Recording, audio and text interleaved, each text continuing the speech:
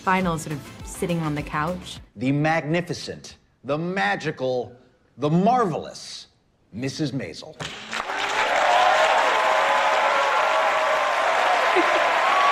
There's not one ounce of acting in those final moments. Yeah, hearing the title of the series in the dialogue of the finale was one of the most clever and joyful moments of the last episode of The Marvelous Mrs. Maisel. This was a show that I always enjoyed, but it was kind of a casual viewer of. Like, I saw every episode, but I wasn't heavily invested in. So I was shocked at how invested I was first in this final season. I found I was really intrigued to see the next episode, and then I was very invested in this final episode. And I actually forget that wasn't the ending of the series finale, that there's still more to come after that.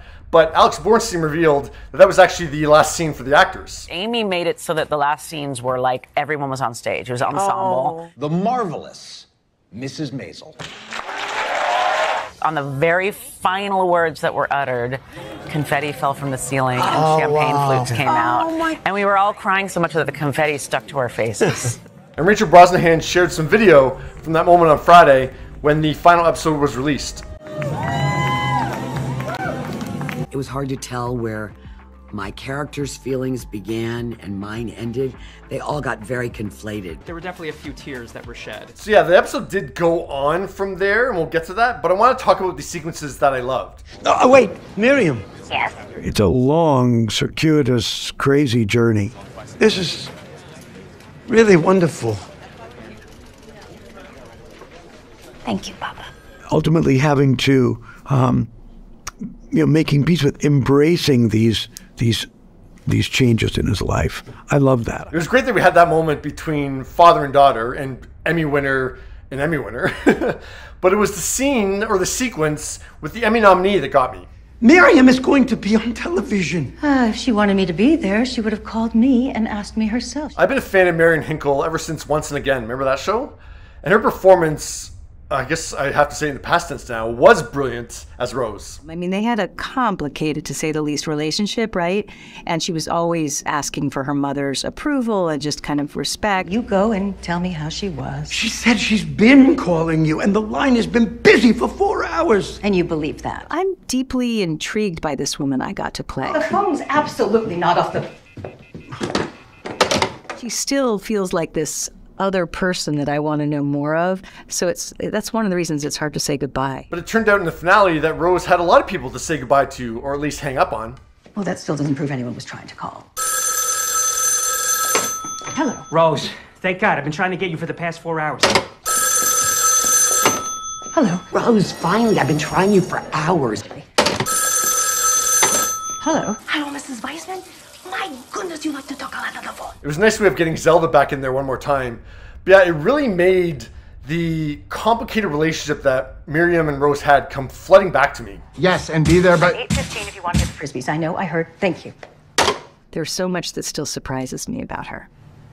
How long do we have? One hour. Let's go. And that led to that spectacular, almost one shot sequence of Miriam's once disapproving parents running through the streets of Manhattan. Find a light. I don't see a light. Do you have a whistle? Hello? Cab person? Anxiously trying to get to the studio to see their daughter do stand up. I love being in the elements. I always, a- a- as an actor in film and TV, I Yeah. love when that happens. Excuse me, are you available? Oh, Excuse me? taxi. Excuse me? We need a cab. Shift change, lady. I don't understand why you'd all change shifts at the same time. And you're sort of dancing with the light and the whatever may happen that day, the kind of um, unknowing that may Whatever happen. obstacles- Whatever's going to happen. yeah. We need a cab. We do not have a whistle. Sorry, lady. Excuse me. The joy of knowing that these two characters were going to get to see their daughter do her thing. Like you and I were feeling that going on, but it's very. My daughter's going to be on television. I just found out. I will pay you ten dollars to not change shifts. I remember we only needed like three takes of it, and I was like, no, no, no, no, no. I got so many more I want to give. I offered that one my wedding ring. Nothing. Still, he wait. What? He looked at me like I was insane. How could you offer him your wedding ring that belonged to my great grandmother? Dave, don't try to change the subject. I had so much, like, hope and joy as I, as if I was heading to really watch Midge perform. My daughter's going to be on television. So yeah, seeing Abe and Rose have so much pride at the end. Miriam, I have to say, though not a word of any note has come out of your mouth, it is still very exciting to see you sitting on that stool. Thank you, Bob. Was wonderful to see. I just want you to know I'm very touched that you had so many people ask me to come here tonight. Oh, it was supposed to be a big night for me. I didn't want you to miss it. supposed to be. Is. It is a big night for me. And it led to this moment that Rachel shared a snapshot of on Instagram where everything just kind of stops for a moment and it's just back to Midge and a mic.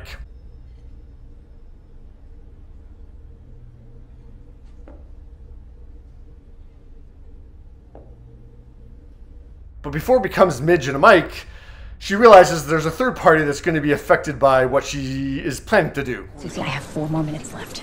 Four minutes. Okay? Four minutes. You hearing me? Yes, four minutes. Four minutes. Four minutes. You got four minutes. Looking at you on the last day of shooting, we That's couldn't even rehearse that scene. Yeah. I'm thinking about doing something.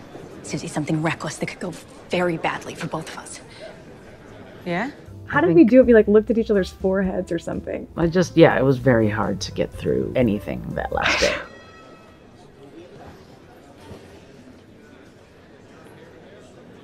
What do you think?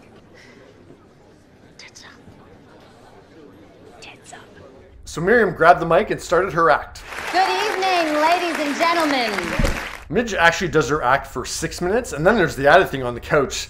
And I mean, not that it matters in the grand scheme of things, but I'm actually surprised since they put such, such an emphasis on the four minutes thing that her act wasn't four minutes. It was actually over six minutes. but yeah, at over six minutes, with the last 90 seconds being one beautiful 360 shot, it was a lot of words for Rachel to memorize. She told Entertainment Weekly that she knew that a wordy monologue was coming for that scene, but she didn't have the pages for it a day before they were supposed to shoot. She says, I was really starting to panic. Finally, Amy sent me the pages and figured out how to give me an extra day to learn it. I guess it was about 48 hours, not a whole lot of time. Lots of words, lots of fast talking, but I had a ton of support from Amy and Dan, from our entire Maisel family who was on set that entire week, from all our crew. It was a pretty special way to go out. And Alex posted a screenshot of Susie, Alex, looking at Midge, Rachel, on Instagram and wrote, The end is nigh. The final episode of Maisel is officially upon us. I have no words, only a lump in my throat. It hurts. Susie watching Midge, as you put it, land the plane, it felt the same as Alex watching Rachel. So yeah, the roast sequence, the taxi sequence, the stand-up monologue sequence are incredible, but that's not how the series went out. It's been a great night. I concur. We first got a flashback scene with Lenny Bruce. I guess people really like this character, and maybe it's because I'm not heavily invested in the series that I don't see his overall significance as much. But yeah, I don't get the whole anything. What makes you so sure I'm gonna be really famous? It's just a hunch. I think that they did the best thing by being very sort of deft in their touch and nuanced in how how much they brought him into the fray. I keep waiting for you to hook up with Lenny Bruce. I'm a little upset that that seems not to be happening. God Keep almighty. rewatching.